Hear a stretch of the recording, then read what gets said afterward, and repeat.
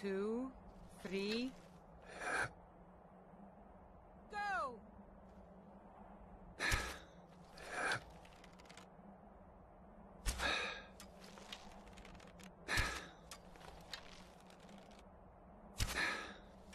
You did it!